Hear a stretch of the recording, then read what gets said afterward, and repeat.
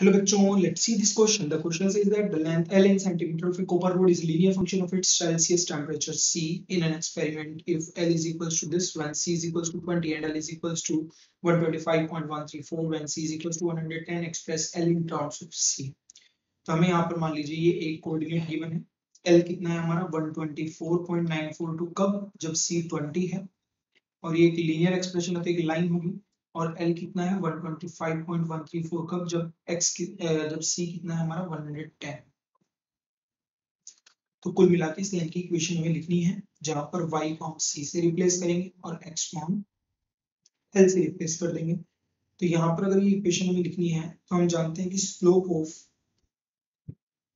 ए B जो बनेगा that is y coordinates का डिफरेंस मतलब 110 माइनस 20 on x coordinates का difference that is 125.134 minus 124.94 तो ये बन जाएगा ये बनेगा 90 अपॉन 0.192 ये बन जाएगा हमारे पास कितना स्लोप और हमें ये पता है that equation of line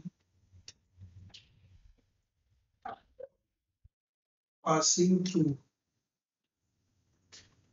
x1 comma y1 and having slope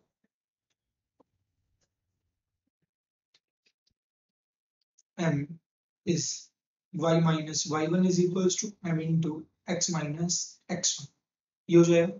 y1 की जगह हम 20 पुट कर देंगे। x1 की जगह 124.942 पुट कर देंगे और स्लोप की जगह हम ये पुट कर देंगे।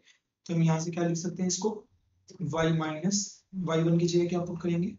20 is equals to slope is 90 upon 0.192 into 90 upon 0.192 into x minus ये कितना बनेगा हमारा? 124.94 तो तो 124.94 तो ये आ जाएगा।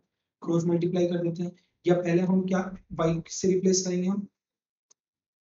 x को l से करेंगे y को c से करेंगे।